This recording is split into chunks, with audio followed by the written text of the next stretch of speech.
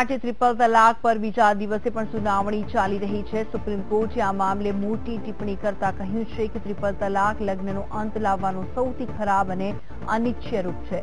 Supreme કોર્ટના પાંચ જજની બેન્ચમાં મામલામાં ઓગણીસ મે સુધી દરરોજ સુનાવણી કરવાની છે. આ બેન્ચમાં ચીફ જસ્ટિસ જેએસ ખેહર સિવાય જસ્ટિસ જોસેફ કુરિયન અને આરએફ નરીમાન યુ લલિત અને અબ્દુલ નજીર સામેલ છે.